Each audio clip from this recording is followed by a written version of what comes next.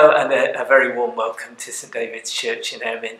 Uh, this is our online benefice service for the churches of Rawcliffe and uh, also for Hook uh, for this week.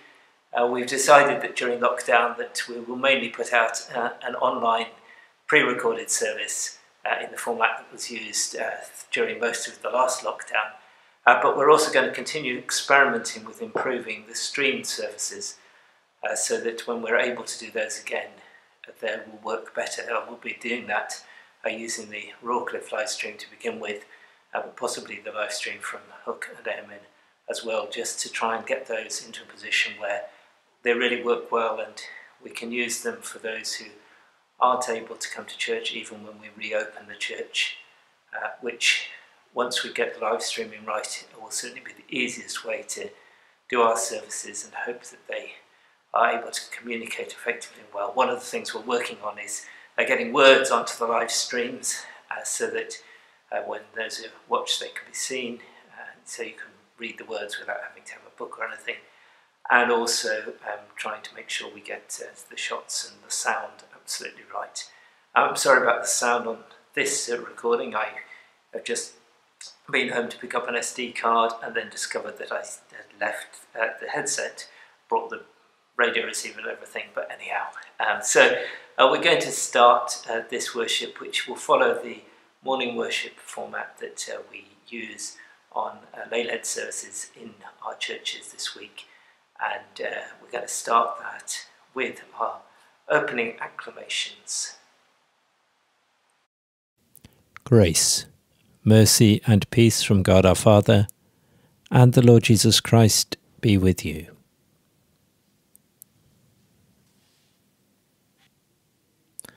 This is the day that the Lord has made. Let us rejoice and be glad in it. God of our days and years, we set this time apart for you. Form us in the likeness of Christ, so that our lives may glorify you. Amen. Our first hymn is Awake my soul and with the sun.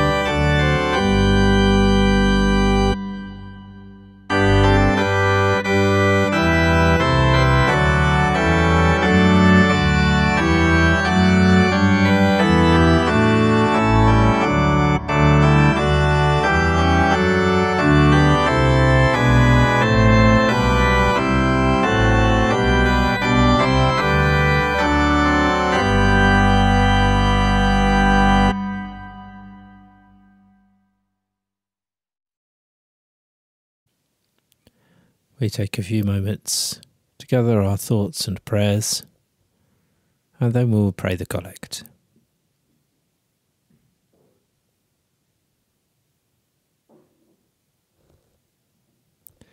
Heavenly Father, whose blessed Son was revealed to destroy the works of the devil, and to make us the children of God and heirs of eternal life, grant that we, having this hope, may purify ourselves even as he is pure.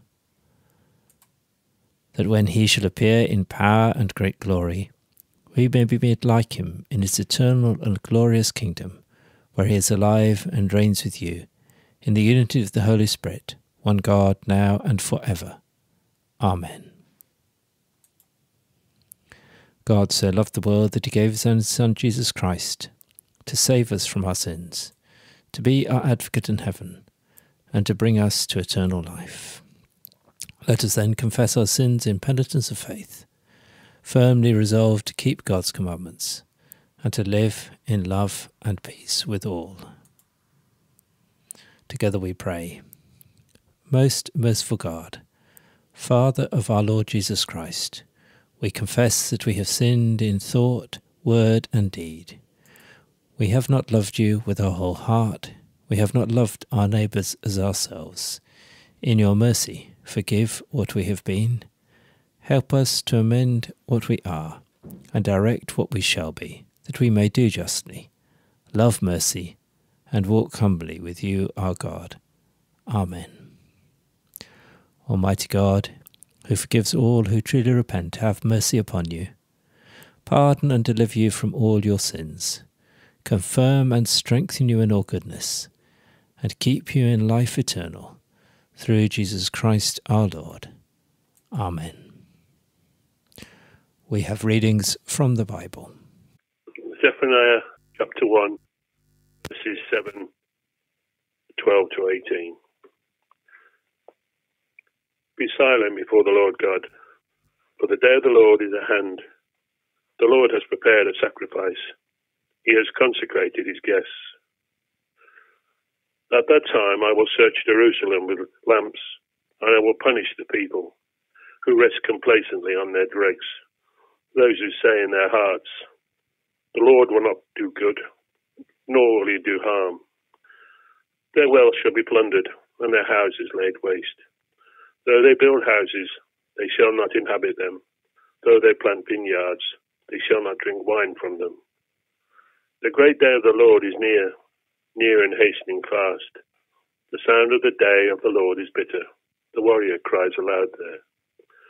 That day will be a day of wrath, a day of distress and anguish, a day of ruin and devastation, a day of darkness and gloom, a day of clouds and thick darkness a day of trumpet blast and battle cry against the fortified cities and against the lofty battlements. I will bring such distress upon people that they shall walk like the blind, because they have sinned against the Lord. Their blood shall be poured out like dust, and their flesh like dung. Neither their silver nor their gold will be able to save them on the day of the Lord's wrath. In the fire of his passion, the whole earth shall be consumed for a full and a terrible end. He will make all the inhabitants of the earth. And these are the words of the Lord. The lesson is from 1 Thessalonians, Paul's first letter to the Thessalonians, chapter 5, beginning at verse 1. Now, when it comes to specific times and duties, my dear family, you don't need to have anyone write to you. You yourselves know very well that the day of the Lord will come like a midnight robber. When people say peace and security, then swift ruin will arrive at their doorstep, like the pains that come over a woman in labour, and they won't have a chance to escape. But as for you, my dear family, you are not in darkness. That day won't surprise you like a robber. You are all children of light, children of the day. We don't belong to the night or to darkness. So then, Let's not go to sleep like the others, but let's keep awake, awake and, and stay sober. People who sleep, you see, sleep at night. People who get drunk, get drunk at night. But we daytime people should be self-controlled, clothing ourselves with a breastplate of faith and love, and with the helmet of the hope of salvation, because God has not placed us on the road to fury, but to gaining salvation through our Lord Jesus, the Messiah.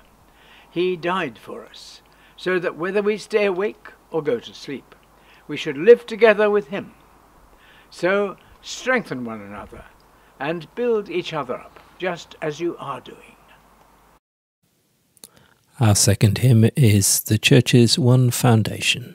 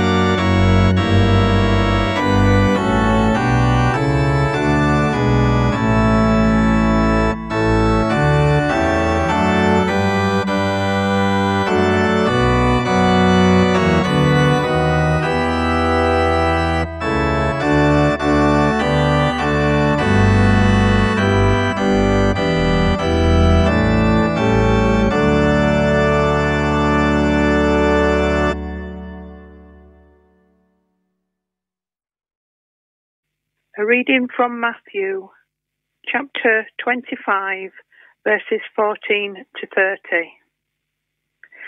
Again, it will be like a man going on a journey who called his servants and entrusted his property to them. To one he gave five talents of money, to another two talents, and to another one talent, each according to his ability.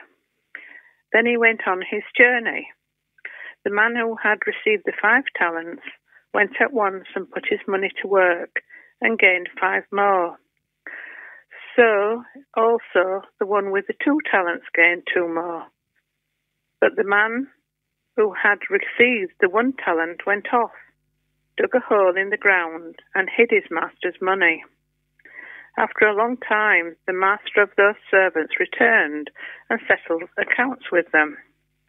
The man who had received the five talents brought the other five. Master, he said, you entrusted me with five talents. See, I have gained five more. His master replied, Well done, good and faithful servant. You have been faithful with a few things. I will put you in charge of many things. Come and share your master's happiness. The man with the two talents also came. Master, he said, you entrusted me with two talents. See, I have gained two more. His master replied, Well done, good and faithful servant. You have been faithful with a few things. I will put you in charge of many things. Come and share your master's happiness. Then the master who had received the one talent came. Master, he said, I knew that you were you are a hard man, harvesting where you have not sown, and gathering where you have not scattered seed. So I was afraid, and went out and hid your talent in the ground. See, here is what belongs to you. His master replied, You wicked, lazy servant. So you knew that I harvest where I have not sown and gather where I have not scattered seed. Well then, you should have put my money on deposit with the bankers, so that when I returned, I would have received it back with interest. Take the talent from him and give it to the one who has ten talents. For everyone who has will be given more, and he will have an abundance. Whoever does not have, even what he has, will be taken from him. And throw that worthless servant outside into the darkness where there will be weeping and gnashing of teeth. The Thessalonians, in a similar mode to what he was writing uh, earlier as we've been going through Thessalonians about the end of time, and it's something that uh, he's encouraging them to take on board. And in this passage, towards the end of the book, he comes to a point of saying, You know it's coming, you know about it. I can't tell you when it's going to happen. But sure as anything, it is coming. And he uses the illustration initially of uh, childbirth and of uh, a woman in labour pains who knows the baby is going to come but doesn't know when that child is going to come. And I've been there myself. I've had two children, uh, both of whom were uh, at least 14, 15 days late, so we had a long time thinking, when are they coming? When are they coming? Knowing that it would happen, but not knowing when. Eventually, one at least was 17 days late. Uh, so, uh, but they've turned out to be wonderful people most of the time since then, and uh, a great opportunity to uh, celebrate that moment when it came. And St. Paul maybe doesn't say this, but I think it's something we can connect to it. That in some ways, what we are looking forward to is like childbirth. That one day we will be released into a new world, a, which is fuller and more spacious and more amazing than the womb ever could have been. And that we will be, need to be ready for that. And we get ready for it uh, in this time in the womb in this earth, uh, where we are receiving the nutrients from God, where we are being prepared, ready to live uh, that fuller life that is to come. Of course, uh, children, babies have no idea of that, and it's not uh, something that we can particularly make a straight line between, but it does give us a picture, a picture of something that is true, something that is true that uh, we have a hope of an everlasting life, which is completely amazing. And at this time, we are restricted. We are restricted particularly by our current circumstances, but even without those circumstances, we are restricted. We live within space and time in a way that uh, we will not live within space and time when eternity comes. One of my great hopes is that heaven will be a place where I can work to the speed of my thoughts because we can think so uh, amazingly quickly and have solved problems in our heads, as many of you would have done in the pub or in other places in conversation. And that's solved, but the reality of doing it in this world is that it's a lot of hard work and that the problems aren't nearly as easy to solve. Maybe that's a picture that's completely wrong, but the idea of eternity is somehow outside of time. And so Paul also talks about time. He talks about time using the Greek words, I'm told, uh, which are chronos and kairos. And chronos is the moment, and kairos is the bigger picture. And we live in a society that's very tied into that chronos way of living, where everything needs to be now. And now that my children are on the edge of teenage, uh, that's one of the things that they're very into. They want things now and they want it to happen immediately. and they can't see the bigger picture of how things fit together.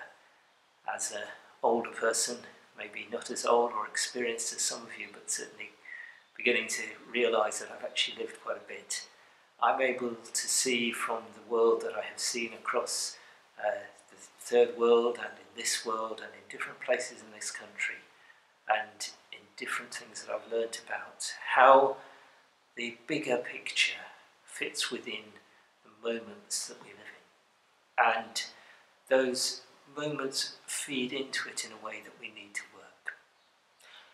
You may have, some of you, seen a programme this week which was on Channel 5 about how Britain won the Second World War. Um, some people might say that we didn't win it, it was a whole combination of people who won it. But anyhow, uh, in that programme, uh, on the beginning of the section about the Battle of Britain, uh, there is mention of a lady called Mrs. Shilling who created a carburetor, device in the carburetors of the Spitfires and the Hurricanes uh, to enable them to not flood their engines. On the patent for that device, uh, there are two names W.C. Clothier and Naylor Nee Shilling B, Beatrice Shilling, that is. And W.C. Clothier was my grandfather. He was a man who never claimed uh, anything what he did or was very quiet and never told us much about how he was. We only discovered he had a first class degree after he died. Uh, we know that he was involved in solving the comet disasters and working out that it was because of the shapes of the windows that uh, those planes had gone, crashed in, in one high level flight and had then crashed. And because of that work enabled us to fly commercially today. But he was a quiet man who uh, never really claimed any greatness. But my experience of, was, of him was that uh, his was a way of living that was very much with an attention to detail. Everything he did, he did very well and in a timely manner. And he had a kind of picture which didn't grab Chronos as the moment you had to do something quickly, but the moment you had to do something well. And he would do things well and effectively, and they would last. And they would now fit into a, a bigger picture of things that have uh, changed our world very few of us will have the privilege of being able to claim that for us. But we can be people who are timely with the way that we use our time, as the way we use our moments, so that those moments feed into a bigger picture effectively and well, and that they don't become too rushed. And if we do that, we will be uh, like St. Paul wants us to be those who are preparing ourselves for eternity in a way which takes that context, in a way which says we are not big or significant in so many ways, yet who we are and what we are its smallness and in its attention to detail is important. And that importance is important to us, to those who we love, to wider communities that we're engaged with, and how we learn to be those who love, who have compassion, who have kindness, who have generosity, who do things well and carefully that ensure that others are looked after, that value is given to all. The way that we do those things in a timely manner, not claiming great things for ourselves, not wanting to make ourselves great by it, but wanting to prepare ourselves for eternity and to help others to be living this life well so that they are ready for what is to come. How we do that is what really will define how we are judged at the end of time. For if we have done it now, if we are ready uh, now in what we're doing, we will be ready then. And if we are those who ensure that we don't rush, but we do steadily and properly, make sure that where there is opportunity, where there is challenge, we are taking those things on. where we are constricted, we are working within those restrictions effectively. Then, when we are set free, when we are set free at the end of time, we will be there set free with many, many who we love.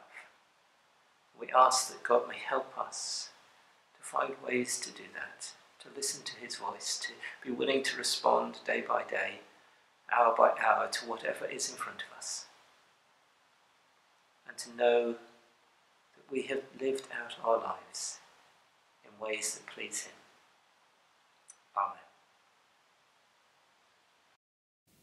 We sing the hymn, Loving Shepherd of Your Sheep.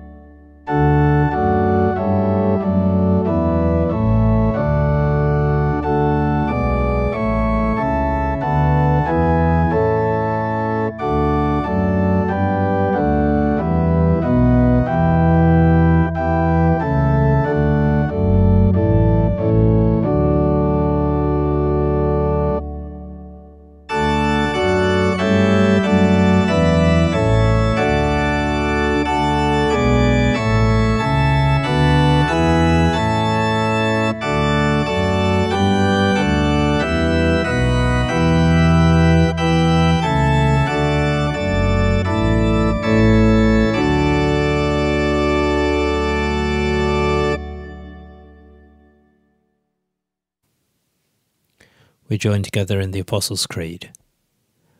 I believe in God, the Father Almighty, creator of heaven and earth. I believe in Jesus Christ, his only Son, our Lord, who was conceived by the Holy Spirit, born of the Virgin Mary, suffered under Pontius Pilate, was crucified, died, and was buried. He descended to the dead. On the third day he rose again. He ascended into heaven. He is seated at the right hand of the Father, and he will come to judge the living and the dead. I believe in the Holy Spirit, the Holy Catholic Church, the communion of saints, the forgiveness of sins, the resurrection of the body, and the life everlasting. Amen. In today's intercessions, when I say, Lord, in your mercy, please reply, Hear our prayer. Lord, in your mercy, hear our prayer. In the power of the Spirit and in union with Christ, let us pray to the Father. O God, the Creator and Preserver of all, we pray for people in every kind of need. Make your ways known on earth, your saving health among all nations.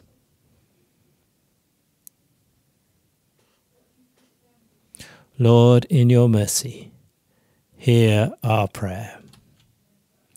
We pray for the good estate of the Catholic Church.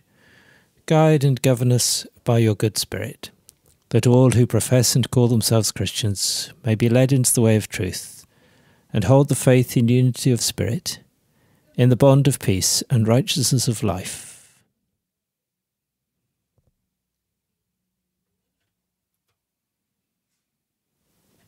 Lord, in your mercy, hear our prayer. We commend to your fatherly goodness all those who are in any ways afflicted or distressed in mind, body, or estate. Comfort and relieve them in their need, give them patience in their sufferings, and bring good out of all their afflictions.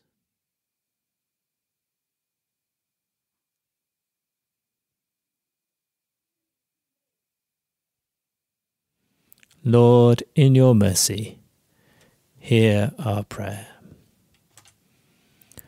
We remember those who've gone before us in the peace of Christ, and we give you praise for all your faithful ones, with whom we rejoice in the communion of saints.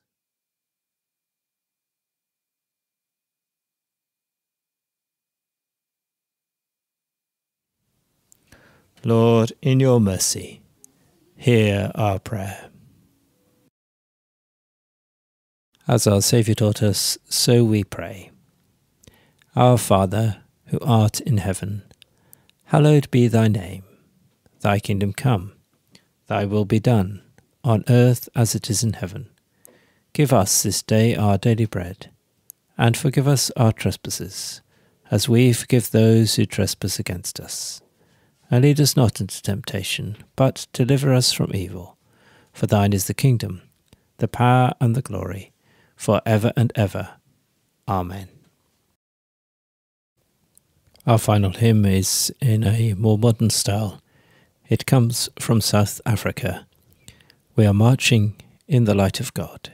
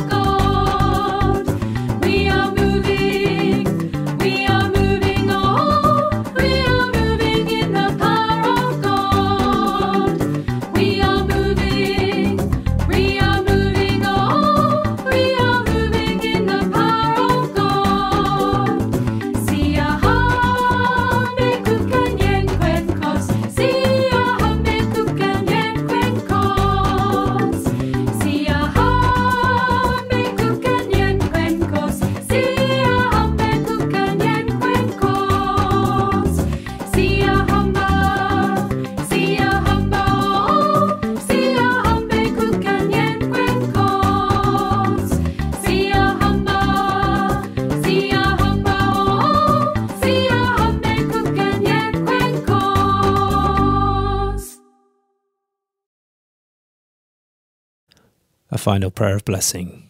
The Lord bless you and watch over you. The Lord make his face to shine on you and be gracious to you. The Lord look kindly on you and give you his peace. Amen. And the blessing of God Almighty, the Father, the Son, and the Holy Spirit be with you this day and forevermore. Amen. Go in peace to love and serve the Lord in the name of Christ. Amen.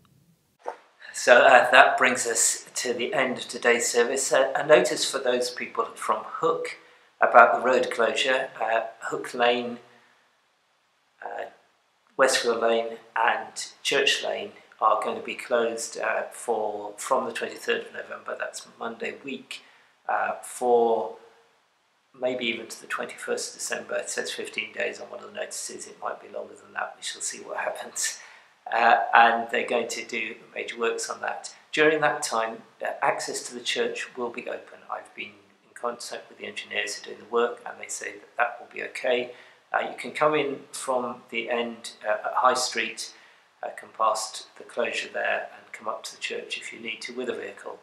And if anybody needs uh, a funeral or anything, then that will be possible. Uh, in fact, funerals during lockdown are still allowed uh, in our churches.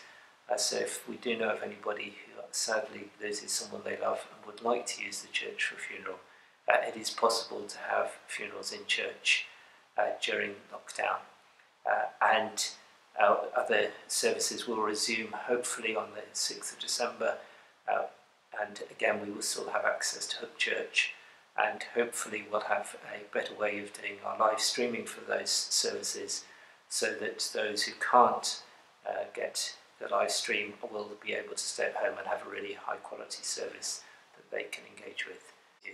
Whether it's simply to care for someone in your family, to give or engage with an issue or event in the world, however each moment is used. May God bless you and help you and enable you to know that you are loved and valued and that you can do things without rushing, but that you can do things effectively and well which have a small impact and but a lasting impact. And we never know the true value of what we have done until the end of time when we will be set free. So go in peace to love and serve the Lord this week. In the name of Christ. Amen.